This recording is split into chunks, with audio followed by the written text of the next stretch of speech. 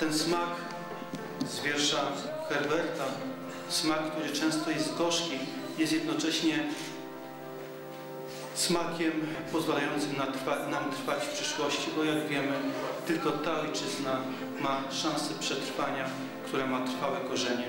Wy te korzenie słów zagnieżdżacie, tworzycie w naszej polskiej rzeczywistości. Za to Wam osobiście bardzo pragnę podziękować i oczywiście w imieniu całej naszej komisji konkursowej. Muszę powiedzieć, że nasze obrady nie były zbyt, zbyt emocjonujące tym, z tego punktu widzenia, że w dużej mierze byliśmy zgodni.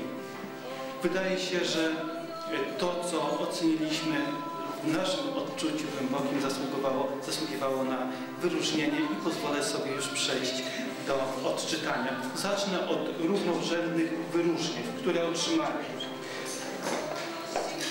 Pani Joanna Rżanek z Sędziejowic, Godło Niebieska, za wiersz zaczynający się od słów Zamknij oczy.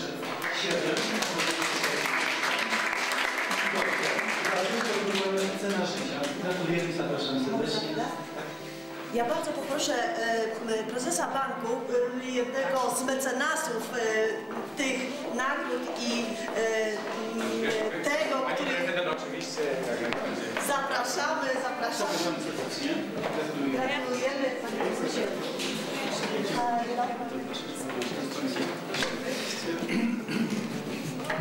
Jest nam bardzo miło. Bardzo Państwu dziękujemy. To są wyróżnienia jed- jednakowe.